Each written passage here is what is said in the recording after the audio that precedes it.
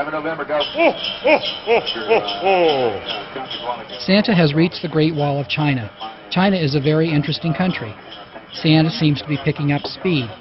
The weather has been excellent up to now, and Santa is right on time. After Asia, Santa will go to Europe. Join us again next hour for another update. For NORAD Track Santa, I'm Master Sergeant Gary Carpenter.